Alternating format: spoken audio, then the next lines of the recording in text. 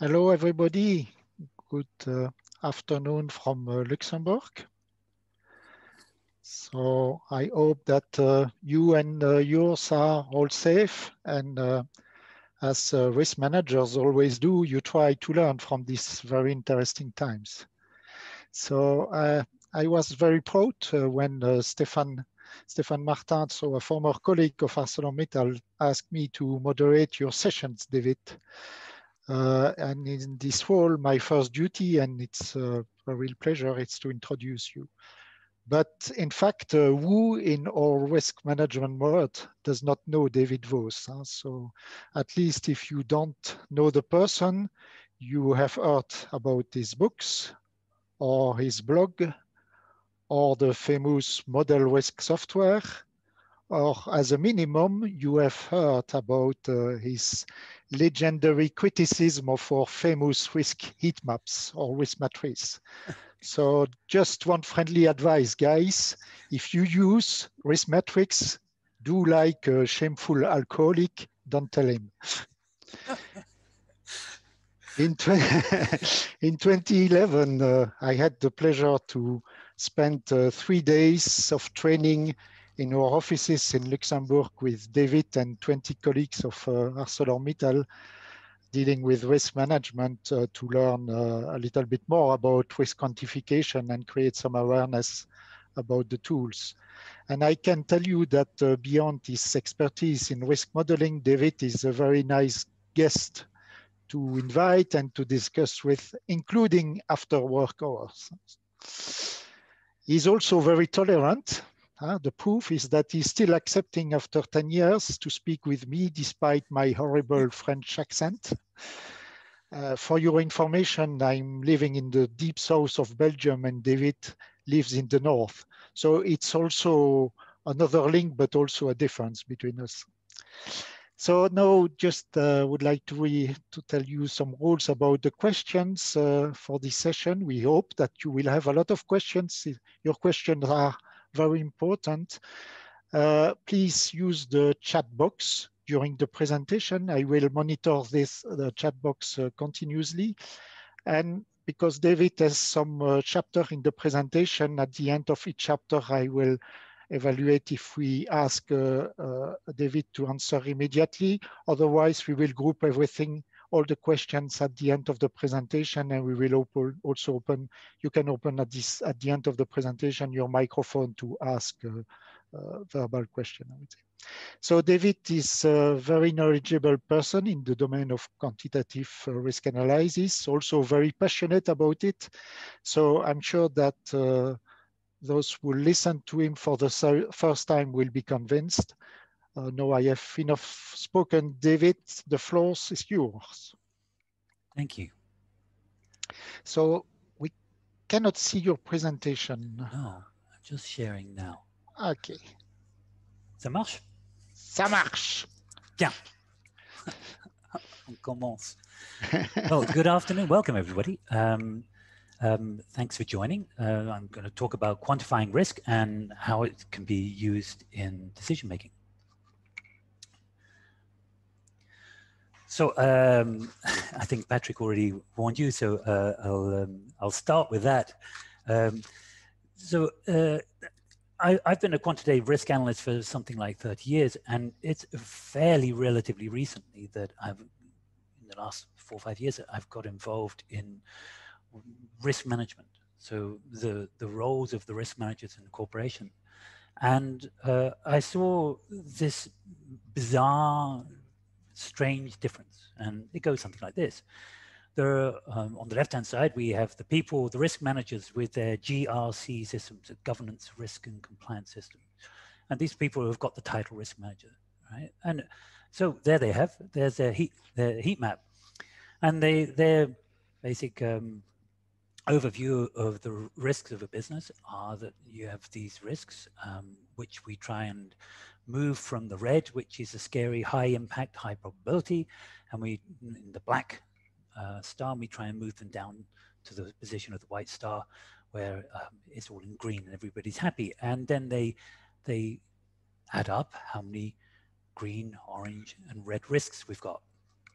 Meanwhile, in the other side of the world, so the everybody else in the business, well, what are they doing? Well, the business development people are doing spreadsheet risk analysis models to figure out what to do. Health and safety are doing their um, checklists. You've got operations people doing bow tie analysis with probabilities. Project people are doing cost and schedule risk analysis. Strategy people are doing um, decision trees. Engineers are doing failure mode analysis, and treasury doing those whole fancy quant models. So there's this huge variety of different types of risk, risk analyses that are generally done in any large business, and they are. And this is a world that I've been used to. Um, so I'm just kind of becoming used to the, the world on the left-hand side. Now, so what happens? Well, risk managers say, because they like their qualitative heat maps, and they say our organization, and I promise you this is true, they say our organization is not yet mature enough to go quantitative. And I think, really? Um, have you had a chat with them? Because there are an awful lot of people doing an awful lot of quantitative analysis. And they kind of they say these people, well, those are specialists. Meanwhile, the other people are doing all their analysis saying management doesn't really listen to us. And this seems to me like a, a very silly situation. So um, let me just step back to what the beginning of the purpose of enterprise risk management should be. I know enterprise risk management is something of a, a, a, strange phrase these days because it means different things to different people. But if you go to the basic principles of it, we'll, at the, to start off, any enterprise, whether it's a government agency or a business or whatever, it has its goals and it has its values. So, and we have these risks which will impinge on those goals and values. Um, the first risks that you, you have are to do with your values. So we want to ensure that the people who work for us and the public in general, they are not harmed by our actions, by our products, whatever. So you've got health and safety. You also, we're becoming more and more aware that we should be trying to take care of the environment. We're custodians of the environment, and that should be part, integral part of our set of values as a corporation if we're going to be a, a, a valued member of society as an entity right? Well, beyond that, we also probably are trying to go out there and make some money. So with, when we make money, we're either trying to preserve or create additional value. And I think if you follow the ISO 31000, that's pretty much says what, what we should be doing in, in summary. So we will have our strategies for how we're going to develop our business in order to um, gain more money. I'll preserve it. And of course, those strategies are directly impinged by a number of different risks. We might not have the money to execute our strategies. We also might not have the reputation, etc., that will allow us to expand in the way that we want. We won't be able to find strategic partners or whatever. part of our strategies is we're going to be making investment decisions. We're going to have to build new factories, um, develop new products, get rid of old products, etc. So, and those those are the key drivers between um, in in terms of our um, the monetary contributions to our strategies. But those investment decisions, well, they investments they require that you have a rollout process for a, a project to develop a new product, build a new facility, etc. And that, also, of course, can um, include some uncertainty uh, about how long it's going to take. When would it be completed? Will it be done in time? Will it be done before our competitors get to the market, for example? The vaccine for COVID-19 would be an excellent example. Who's going to get there first? So the, the schedule, how quickly we're going to achieve something, that, that the uncertainty and that time drives um, some of the investment decisions. At the same time, um, the finances, you know, the the evaluations, um, how much is going to cost, how much we're going to gain out of it. These these also contribute to whether we make the investment decisions.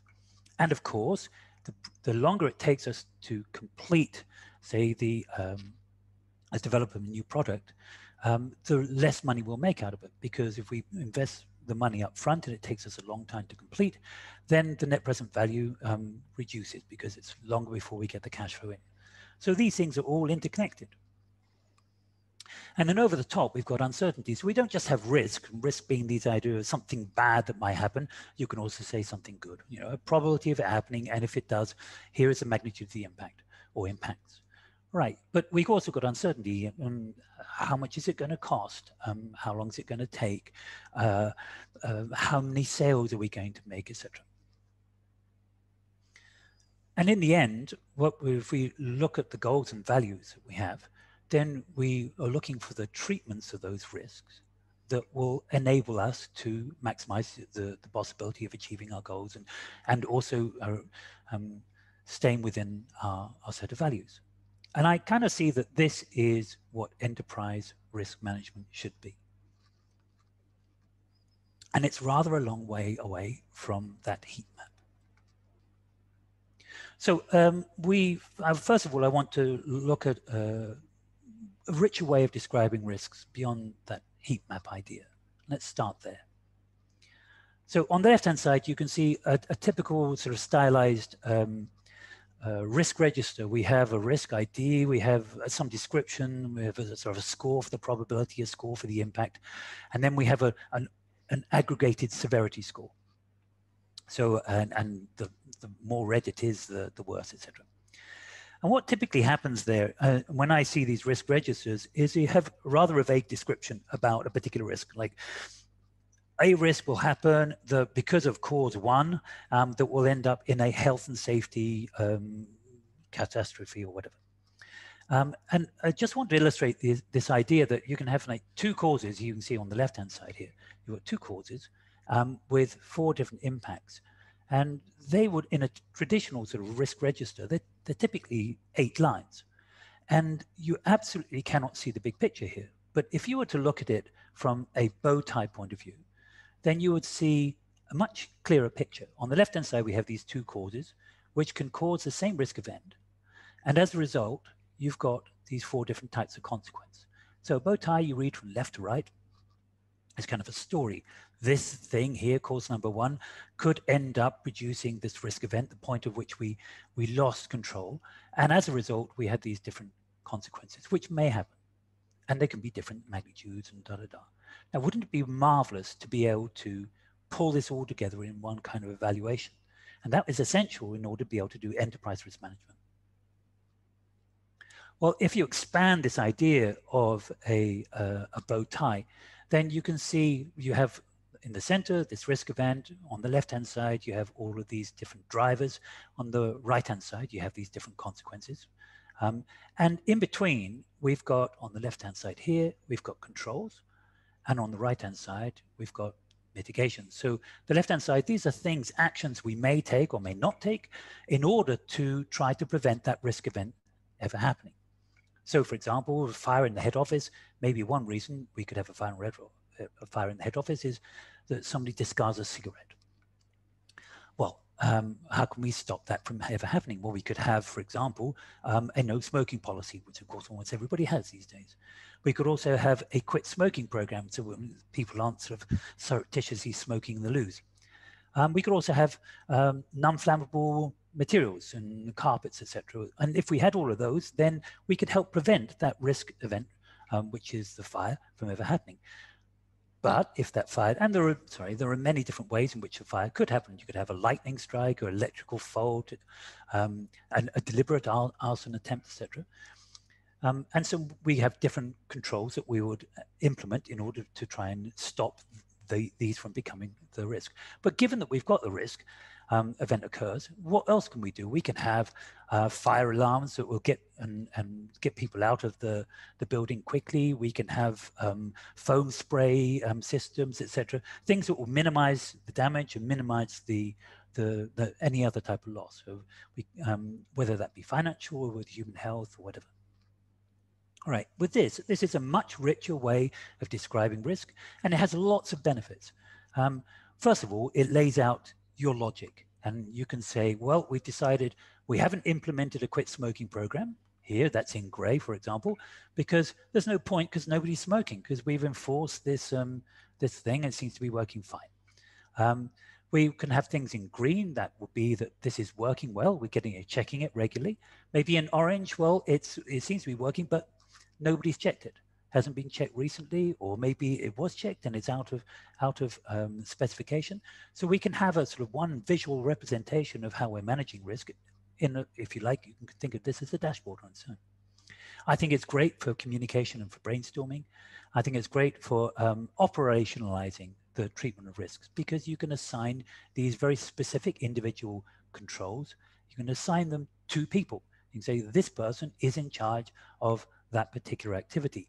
And that means that you actually are managing, actively managing the risks. And it turns out that this is very simple maths to analyze, um, that you need to analyze it. Uh, and, and finally, you can optimize. So you can choose, all right, um, we maybe we could get rid of some of these controls because once you understand the total impacts uh, that you're protecting against, you might find that you're really spending excessive amounts of money on in some areas because the, it's not um, it's not really suitable for the amount of risk that that, particular uh, driver is creating. I'm not saying these numbers have to be very perfect, but we de we definitely have a much greater feel than if we have a, a qualitative system. Um, we can also talk about the interrelationships between risks. So uh, one risk certainly can drive another. Now, you might have thought, for example, COVID-19, if we'd gone back a year or so ago, we, were, we would have said that there was a small probability of a, of a pandemic that would have created worldwide chaos. People have put big impact, tiny probability, that's a risk. And that if that risk occurs, well, goodness me, then there are an awful lot of others, and we're now living that, an awful lot of other risks that will occur as, as a result. And it cascades. You know, companies uh, go bankrupt. That means you've got fewer suppliers, da da da da, and it goes on and on and on. Right. So with a bow tie kind of approach, you can also map how one risk is connecting to the next one, the next one, next one. And that becomes really interesting because now we understand things like here's a control, which is apparently not currently working. But that the value of that control is beyond the value of simply this risk, uh, the consequences from risk number one, because that risk number one, that is a driver for risk number two and risk number three. So the, the ability for this control to prevent that first risk, you have to you have to measure its uh, value uh, against the cost, if you like, um, against all the protection it provides, not just from risk number one, but two and three. So you have to add probabilistically add it all up together. So that's the end of my so, first section. David, yes. yes. So we have uh, one question, but you have also a very good supporter with Hans. Uh, so we're ah, answering Hans. already. yeah. So the, the question was from Giselle, uh, was uh, about the percentage of the industries using bow tie approach versus or over the heat map approach. Oh. So, yeah, it's a, it's a good question. I would say um, um, um, the bow tie approach is used a great deal in um, health and safety, um, but in a qualitative way. So just a mapping out, and that's already a, a great benefit. And there's um, CGE, something like that, a company like CGE, which has produced a bow tie tool that's been around for a long time. Um, so you see a lot of that. It's a qualitative tool, so it, it's really mm, you could do it in Visio if you like. Um, you know, just drag and drop gra um, graph graphical elements together, but it, it's that's used a lot. In it, this in itself is not this is not a, a replacement for a heat map because um, well we'll see as as I my talk progresses we'll see that that's not sufficient but it's one tool that I want to um, make people aware of and there'll be a few other tools as we go along. Um, and then thank you we had another remark or question from Axel. Uh, if you don't want to take it, I can I can uh, take it. So he's uh, uh acknowledging or, or this uh, or stating that more often, the more he work with companies on risk, the more he's finding out that uh, there is never clear values, no defined goals. so this, these sort of things. The strategic the strategy even yes. is sometimes missing. So I, I agree. Yes. Um, yeah. So, but actually, you, you're, you're in a very good position to answer that um, if you want yeah. to. Betsy. Yeah, I can because of course, we can take that uh, offline after. But it's actually true that if we want to uh, implement or make the risk management process or all the risk management activities more robust, more integrated, a lot of other things need to exist in the company. If the only things that will work is only risk management, in fact, it will not work. It's true that objective must be clear, clearly defined, monitor uh, with KPIs, and then naturally all the risk system will connect to this and uh, be integrated. But uh, it's true that, um, yeah. I, I, I, agree with you, Patrick. And um, I, I feel um, uh, that one of the big barriers is that people people think that if you want to go into some, some more quantitative approach to, to risk management, that you need to have everything in place. Um, so we, we've had clients, I have a client who who is who was trying to do the um, risk appetite matrix, and they they wanted to get their risk appetite matrix in place before, and it took them nearly a year. And they they in fact the guy just left. he never achieved it. Yeah. but it was it was a waste of time. Uh, you you. It, it, uh, there's another question that I'll, I'll come to a bit later about um, financial valuations. But um, when when you uh, when you start implementing um, proper enterprise risk management quantitative, I would call it proper, um, questions arise and they will, but you start to understand why those questions are there and you start to see the context to it and the value of it and you pay attention to the, the ones that are important.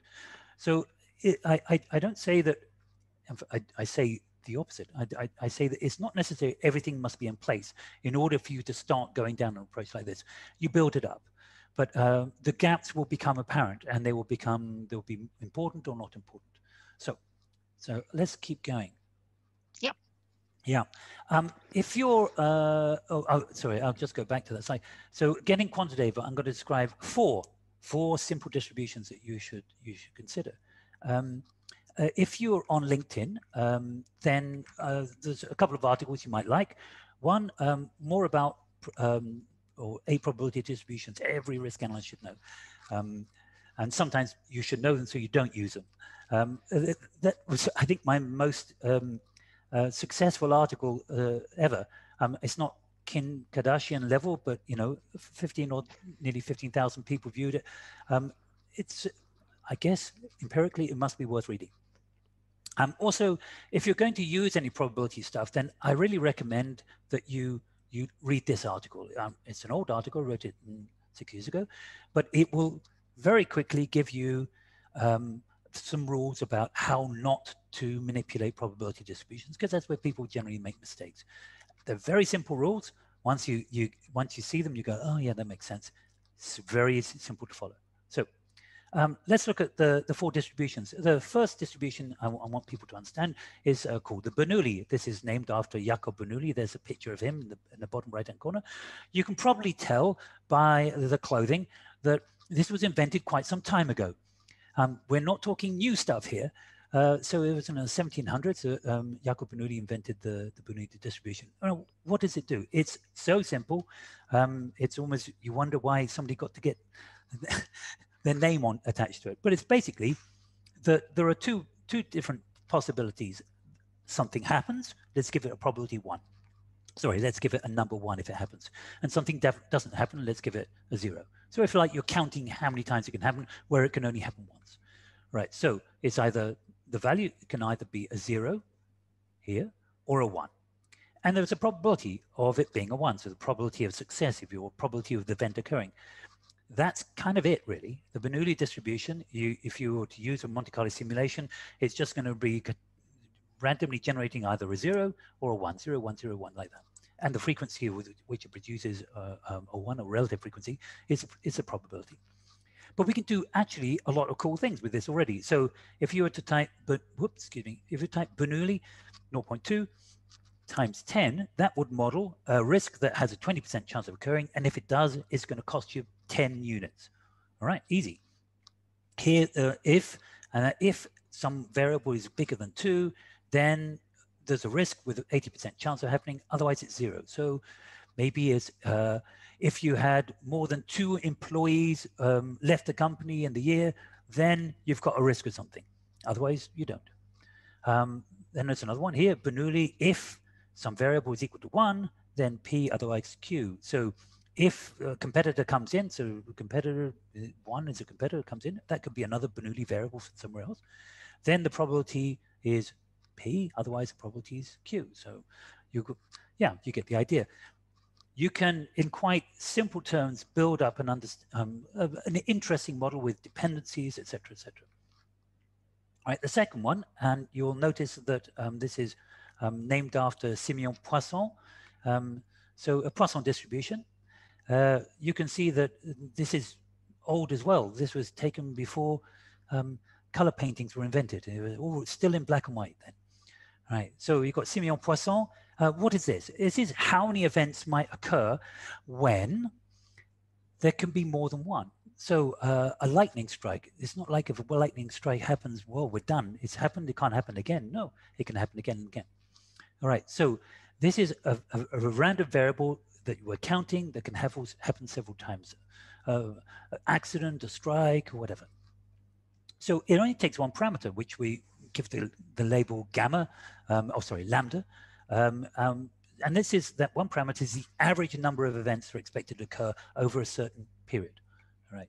It's really easy to use. So mu, if you could say mu was the number of events per year and you had t years, then lambda is just mu times t, because we're talking average. If on average there were three strikes a year, how many would there be over the next five years?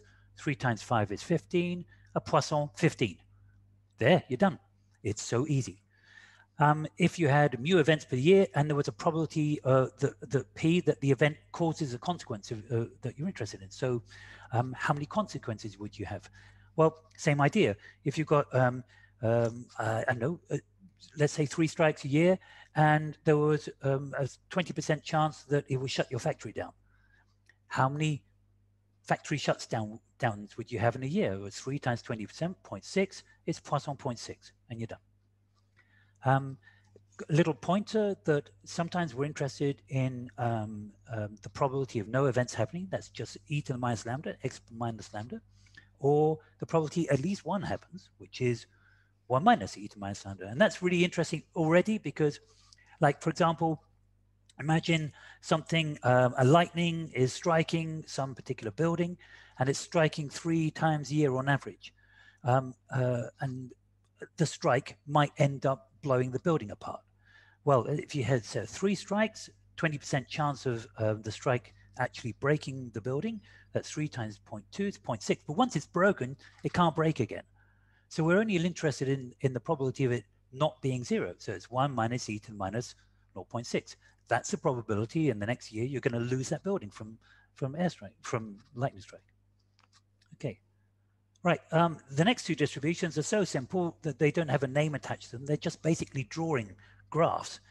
Um, the, this one, uh, three-point estimate. That's all we're saying is, I don't know how much this thing is going to be, how much it's going to cost, how long it's going to take, how big the market size will be. But I'm going to put in a minimum, most likely, and a maximum value. And, and the easiest way of drawing that is with a triangle distribution. You can see why it's called a triangle distribution. It takes a minimum value, most likely value, a maximum, and you just draw the lines in between. A slightly more advanced, only slightly, a PERT 249, whereas this was a triangle 249, you can see that it's a bit curvier, and that tends to more, more reasonably reflect what people think. Um, but a better estimate of all of them with something called a three-point estimate. Um, this is the same kind of curve as this one. But instead of asking for the maximum, if you ever ask somebody for a maximum, it's a very difficult value to give. Minimum, yeah, most likely, yeah, but maximum, no because we can always think of a scenario where it would be bigger and bigger and bigger, and you end up sort of in some tortuous uh, conversation. So instead, if you ask, well, uh, nine times out of 10, what's the biggest it's going to be nine times out of 10? Well, that's P90, if you like, and that's a much easier uh, value to, to elicit from, from somebody. Right. So three-point estimate. Um, if you happen to use our software, ModelRisk software, then uh, Patrick was very kind enough to mention, then that would be one of the distributions in our software. I kind of invented it. Um, and the last one, and we're really done with probability distributions, is a discrete. And the discrete distribution is simply, instead of saying uh, the variable is continuous, it's discrete, means that uh, how many bridges might I have to build? How many servers might I have to build? Um, it can be zero, one, two, three, four, or it could be zero, half, one, one and a half, two. It doesn't have to be specific un unit values. We just have a list of values, and then we have a list of probabilities associated with those values. And, and you're done. And with those four, you can model an enormous number of different things. And I'm going to show you some examples of that. Do you want to carry on, uh, Patrick, or should I pause for Yes, no question for the moment. Everybody okay. is lost with the they, P90 and all these things. right, so let's look at some financial risk. Um, so uh, the, the first classical one here is the list of risks to estimate capital reserve. Um, how much money do I need to set aside? Well, I've got this whole portfolio of my risk register, all these different risks. And I've, um, so what people typically do is they the probability of each risk they, and they take their best guess at how much it will cost and they add, multiply the two together and add them up. So the formula on the left-hand side here. But this is a disaster because it gives you just that, that middle point. Effectively, you're saying like, for example, I've got a, a one in a one in a hundred chance of losing a million dollars. So multiply the two together, that's 10,000. I'll put $10,000 aside to cover my million dollar risk. Well, that has literally no chance of being useful at all.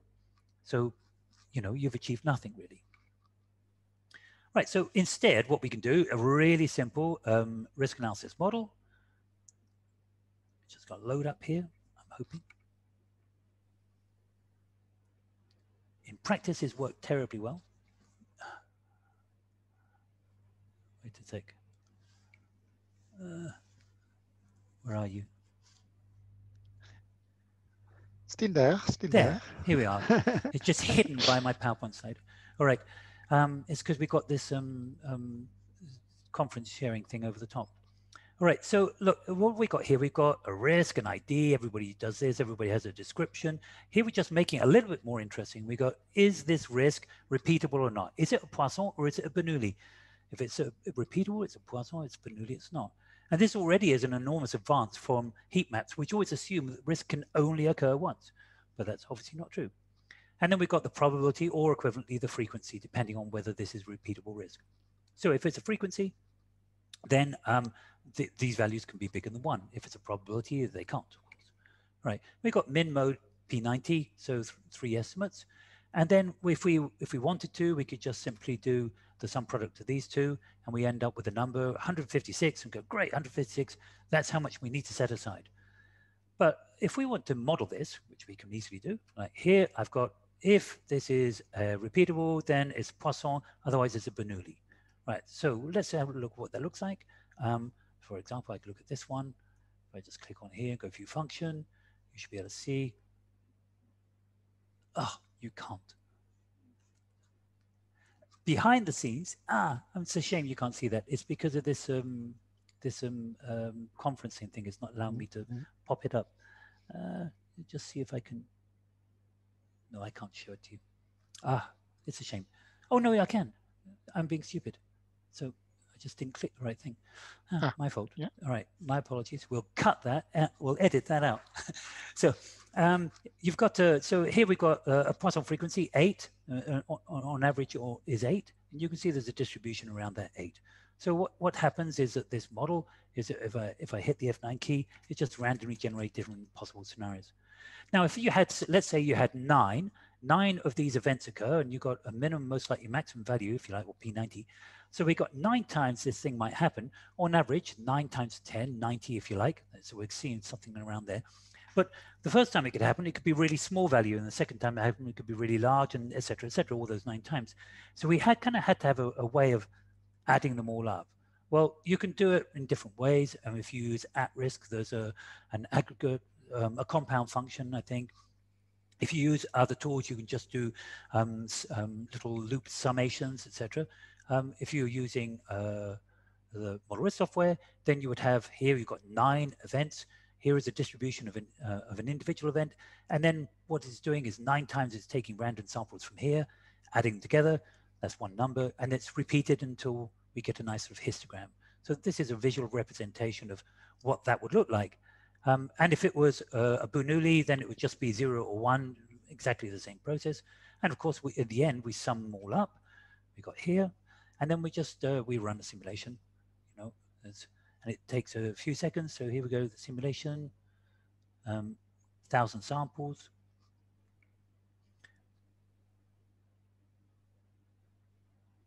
So David, I yes. think it's important already to say that the result of uh, uh, quantitative risk analysis is not really a number; it's more a shape. In fact, it's a very it's a it's a very so, nice uh, because um, people it's sometimes difficult to communicate that to the management. Huh? So because to to report about a number, you need to get from them a level of a degree of confidence or something like that. Huh? So yeah, it's true. You know, but if you ask any manager, um, how old will you be? What what date will you die? You know, they're like, I don't know. well, give, just give me a date. Give me, you know, I want a number. Give me the. I can't give you a number. Exactly. You know so yeah, there's a there are we know that there's a range around things. So what we're sort of and we inherit we intuitively know that we're just not very sure how to describe it really, and you know. If you go to any sort of modern business school, they, they do teach these things, but uh, perhaps uh, they, they don't teach them very well. I don't know. Um, it, but it, it kind of gets lost in the. I, I don't. I, I a, a, good question is well, how do we make the management better understand this. Um, what, what I personally do um, uh, is I recommend a two hour, two hour training course. I've done many of them where I just with the executive, um, so nobody else there, um, I show them what results look like. Uh, and they test themselves to see if they understand it. And, you know, and they can, I'm external, I, they can ask all the dumb questions that they want. And I promise you that after two hours, and that includes things like how do you know it's a nonsense model, you know, garbage in, garbage out, and so on. After two hours, they get pretty comfortable with it. It's and it's an extraordinary uh, idea that uh, you hear a lot. That people say, ah, you know, um, our executives they just don't have time to to um, to learn about probability stuff. Two hours, they have the time. they really do. yeah, it's just they one, have a good teacher. if you have a good teacher, that yeah. So uh, here's the difference. You got 156 is your base estimate, and of course that's sitting down somewhere low here. Um, but now we've got 246 would be like the P95. Um, or if you don't like the P95, you pick the P90 or some, you know, some other number. So you, you pick a number here and go, well, and you can, of course, bring it down to number. If you have $228,000 um, um, in reserve, then you've got enough to cover this risk with like 89, 90% chance of, of success. So that's pretty good. Right. So that's the first kind of model, um, uh, the first kind of decision that one has to make. Very common type of decision. Um, another one is to decide what kind of uh, investment to make. And I see, uh, I see perhaps a bit less these days, but I've seen a lot of decision trees um, being put up. And oh, people should use decision trees, and I'm really not a big fan of decision trees at all. And that's some reasons. This is a typical um, decision tree. Uh, you've got uh, it's a classic one that you will see in Ewan Dawes' book and stuff on, on decision theory. Um, you're, you're basically deciding whether or not um, you're going to drill a particular oil reserve, and um, you uh, you you decide whether you're going to test it beforehand or not. And if you test, then you don't know what the result is going to be because otherwise, why would you test? Um, but then you have a more informed decision about whether or not you're going to drill.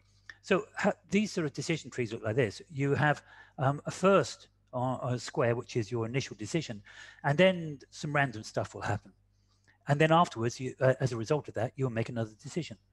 But that second decision, you kind of know what that will be. That second decision is based on what what I will then know at the time. Um, so that is not a decision really that we're modeling. It, in fact, it's a it's a random variable that was based on some logic. Like if we would know this, I would go and do that thing. Otherwise, if I would know something else, I would go and do that other thing. It would be a decision that is driven by um, by randomness. Uh, what, what I particularly don't like is this um, the, the way that we have to essentially reduce all the information we have in, into a, a, very crude type of analysis. So here we've got like a three-pronged pronged fork of what the result might look like. And you can see here, you, you, this is re replicated as three lines, which are trying to trying to uh, reflect a, a, whole probability distribution. And you can see that if you put effort in, you sort of know some of these distributions well and others less well, then um, th this is you're, you're, reducing all that information um, and almost uh, to an absurd degree. It also kind of assumes that there's only one, there's a, a very simple analysis that would allow us to, to figure out the value of the decision. What reality is that we're doing any investments is we normally got a great big cash flow model where it's got NPV analysis and all that sort of stuff with um, uh, um, lines of uh, revenue streams and tax uh, um, ratios and all those all, all, all, sorts of things like that. So uh, here's a real simple kind of model that re reflects the idea of um, how are we going to try and make uh, one of several different um, possible decisions. And all you do is you run a model um, several times where you put in the different decision options that you would have gone for. So in this case, um, there's two. There's the baseline decision, which is we spend a baseline amount of money and it will give us a base um, access to the market. But we could also spend another two and a half million odd, um, and that will give us access to a 90% larger market. Which should we do? Is it is that 19% worth it for the 2.4 million? Let's go find out. You can use exactly the same model. What we do now is going to run a simulation. Um, and this time it looks a little different. Here it's running a simulation, first one, one of two. Now it's going to run second simulation. It's doing the same thing, but twice. So what's happening is that um, you've got first model is being run with those first parameters and the second model with second parameters. And then we're asking ourselves, well, which is better? And what you can see here, you've got um, two different uh, two different options, the base and the extra investment. And at every probability, cumulative probability, if you read off along here, so we just drag that down, drag it down. So just pick, say, somewhere around 60%. If, at that probability, you will see that you're getting more net present value, so more, um, more benefit using the extra investment than you are using the base investment. So at that probability and at basically any other probability, it's definitely a good idea to go with the extra investment. So this is, technical terms, this is called first order stochastic dominant. It means that that curve is always to the right of the other curve. Um, sometimes it's a little bit more complex than that. They overlap a bit, but there are rules for being able to determine that pretty easily. So any sort of logical person would say, actually, from this perspective, this is a better investment decision. It's kind of nice because you can also look at all sorts of things like um, market growth um, as being the largest uncertain parameter and it's part of the decision. Well, can we, this is, we're unsure about this, can we nail it down a bit? Can we go out and do a market study so we can find out the value of that a little bit more precisely? That would help us narrow down the uncertainty and therefore be more sure about one investment or the other. Okay. So um, very simple models. Um, and I promise you that both of those models only use the four distributions I was talking about. Nothing, nothing uh, beyond that. And yet, in general, you can say that those are enough to be able to do any risk assessment. I want to quickly look at cyber risk. Um, cyber risk is one one of the other areas of enterprise risk management that one has to consider. It's um, it's of course it's a hot topic, um, particularly with COVID nineteen and all the you know all of our shutdowns and conferences like this and meetings, etc. But um, there is a there's been an initiative from the Open Group um, some time ago to to create a quantitative approach to um, to cyber risk, and it's called FAIR, F-A-I-R. You can go and look it up. It's quite an interesting idea. Actually, it turns out to be very simple. So it it reads from left to right as um, you can make it read from left to right as a kind of a story. You've got here, you've got people attacking, and then you're comparing their ability to attack with your ability to repel. If if their ability to attack exceeds your ability to repel, then the risk happens with a certain frequency, and then after that you get these different uh, losses. So you, your loss could be a primary loss, immediate loss of money, some secondary losses as well that come maybe down the, the line. And that's exactly equivalent to a bow tie analysis. And it's, it's very surprising to me that people don't immediately realize that. So this frequency here and this number is the same as the contact frequency and probability action, there's coupling there. Then you've got, if you're familiar with this, um, there is a rather abstract capability, which is looking at the threat capability and resistance strength. And it says, oh, here are distributions of the two. If one exceeds the other, you're in trouble. So what is that probability of one bigger than the other? It's kind of working out the area between the, between the two curves you can see there. That's a bit too abstract from my point of view because we're talking about very abstract concepts of my my strength and or my vulnerability and your strength and well, I'm not sure what they entirely mean. And then you got the losses, which exactly the same idea. An absolute, a much better way of looking at um, uh, cybersecurity risk is to just extend that extend that bow tie analysis a little bit better. So you start including your controls and your mitigations, and I've already described what they are. So and, and you can have standard templates. Say this is how we're going to control against this particular risk or set of risks um, for a server, for a particular um, database or whatever it is, right? So you can have some consistency in the way people are looking at things. And you can include more than just monetary um, impacts. I mean, when you think about it, we don't really want um, to reduce, say, uh, oh, 10,000 customers um, got all of their personal details um, um, given out to the internet.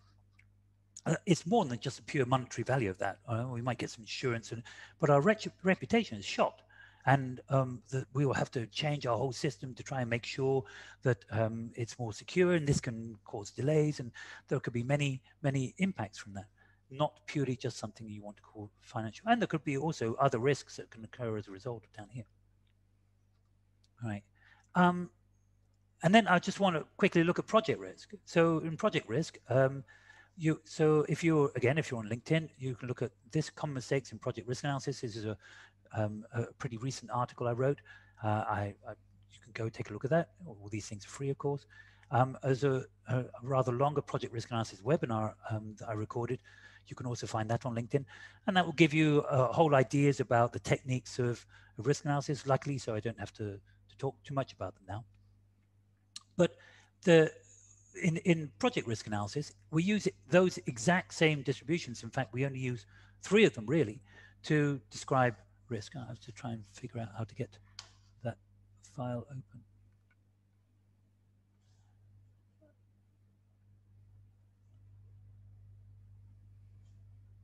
Okay, so here is a, a, typical project. You can see a schedule here, um, like that. You've got a schedule, um, and we, we take the schedule and we just add some, um, some uncertainty and some risk. So for example, um, you're unsure about the amount, total amount of work that's there. Maybe you're being a bit optimistic and there's quite a lot of uncertainty or et cetera, et cetera. And you can put some descriptions of uncertainty and there's an implication of what that means in, in terms of spread, plus or minus percentages. You can add some risks in here out of a risk register. So um, and all, all of the risk, this is the software from my company, but all of the project risk analysis software look the same, basically. So pick the one that you, you like the best. They all, if they're good, they all use the same basic um, uh, risk analysis ideas. You And you have the, maybe some don't include expected frequency, so repeatable events, but basically you've got the same, um, same kind of thinking.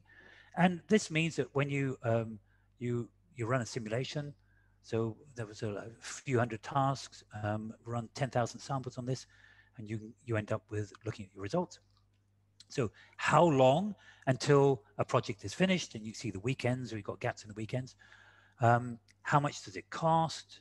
Um, so distribution of the total cost of the, I'll just make that 50, distribution of the total cost. And of course, um, they're also, the, these things are connected together. So I can just quickly look at this without the trend line.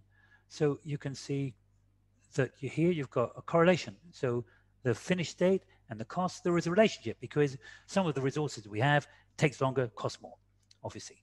Right, so you can take this information and um, depending on your software tools, you can take that aggregate sort of uncertainty and then put that into your project risk analysis or your um, your cash flow model. So you can talk about the effect of uncertainty and um, in, in, time of completion of the project and effect of um, maybe the capital investment that's gone into the project as well. You can you can link all these things together. And I think that then we're really starting to talk about um, uh, you think we've got investments, we've got a bow tie of cyber risk, etc. If if we could pull all these things together, wouldn't we be then dealing with um, enterprise risk management? and that's what I think you can do. Well, first of all, you have to go and um, do that. So, uh, right. And so uh, in with the new. Now, how is it possible, remotely possible, that we can put these things together? Um, well, we can, and there is. Um, it's not. It's really not rocket science at all. Um, I, I, I find it very interesting. I've met lots of risk managers who are absolutely dead set on their heat map. They love their. Um, sometimes it's four colors. Oh, it's green and then yellow, orange, red. So, you know, maybe a bit more sophisticated, but they're trying to figure out how to add a few greens and a couple of yellows and see what's that make? Is it still an orange or is it, are we in yellow ground or what do you do? There are even guidelines that tell you, um, and again, it's not an article I, have put up here, but in, you can find it on LinkedIn. Um, semi-quantitative risk analysis and other absurdities, I think it's called. Is a you can see it, it's a picture of a guy with a an umbrella and a huge stone above his head. Anyway, in there, I point out one of the guidelines that says, oh, well, you can um, you can add the indices together, or you can take the average, you can take the uh, maximum, or do whatever else you like. It literally said that. So basically, there is no method, certainly, and there can't be, for aggregating um, scale. So we have to go to some quantitative method. All right. And the so quantitative, yes. David, just one thing, we are coming close to the, the and I'm end. very close yeah. to the finish myself, but thank you. Thank you. yeah. yeah. So we, what can we do? Well, there's there's this theory called multi-attribute utility theory, and if you you can go read about it. Um, if you don't want the to go and look at the academic world, you can go and look, read an article that I wrote, and this actually lets you put in the information and then so you can go through this process and from a, take the data from what would traditionally be a heat map and actually create your own aggregation tool um, in pure Excel.